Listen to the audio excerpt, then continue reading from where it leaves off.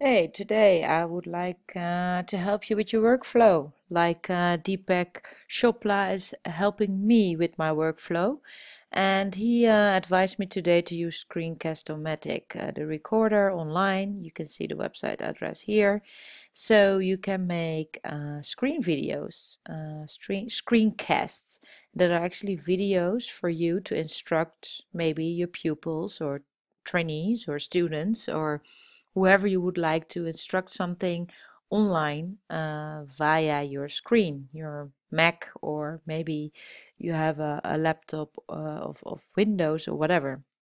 So if you use this uh, screencast, uh, it's very easy to actually upload um, and you can start you only have to open the software uh, on your Mac and then you can start screencasting immediately I have decreased the size a little bit so it will not take so much of my space online uh, uh, so I can upload it easily on YouTube.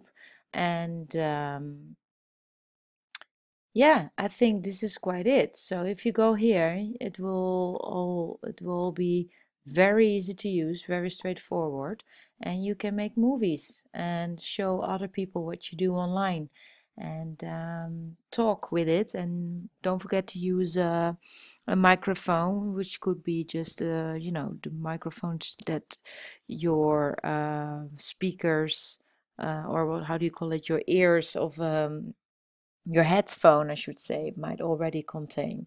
So just use those. It doesn't have to be a special expensive microphone or anything. And you can screencast and talk and give instructions on the same on the same time so I hope this was useful. I'm not an expert on internet marketing or social media, but I do get a lot of insights of great people I work with or collaborate. And uh, if things work for me, I love to share it with the world.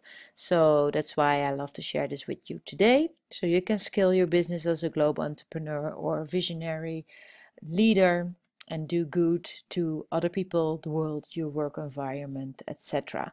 So if you have added uh, any additional um, constructive, mostly said, feedback, don't hesitate to write it below this video or uh, ask a question so I can maybe answer that and uh, deepen into the, topics of screencasts or other topics you have questions about.